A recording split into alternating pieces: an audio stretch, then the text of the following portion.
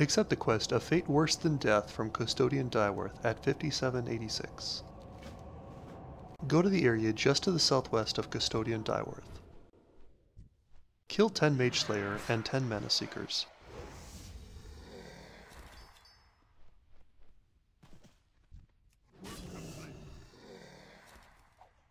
Work complete. Head to coordinates 5786.